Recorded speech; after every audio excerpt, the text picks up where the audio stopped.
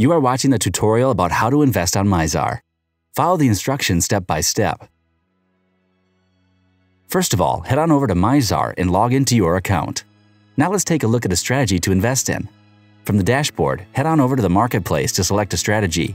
Press on Load More and scroll down to see more available strategies to choose from. In the marketplace, you'll see different types of bots. DCA bots and API bots. DCA, or dollar cost averaging, is the best way to reduce your risks. The bot will lower the average entry price by buying more if the price goes against the trader's assumptions.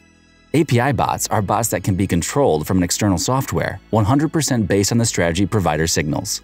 Review the strategies and select your favorite one by selecting Invest. Set up your investment. Make sure to connect to an exchange that is supported by the strategy where you want to invest first, and ensure you have enough balance in your exchange. You have two ways to choose how to invest, standard mode or advanced mode. By selecting the standard mode, you will be asked to input the amount of capital you want to invest. In the investment overview, you'll have some guidance you can follow. The maximum investment is the maximum amount of capital that the bot can invest at a single time.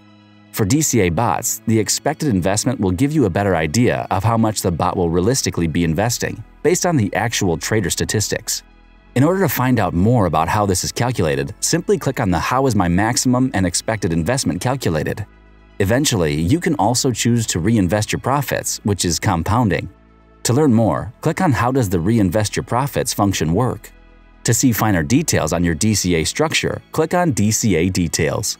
You will get a full understanding of how the bot will most likely behave. Would you like to switch to Advanced Mode? Then select Advanced Mode. Here you can choose your exact base order size and also the number of positions you wish to open at a given time.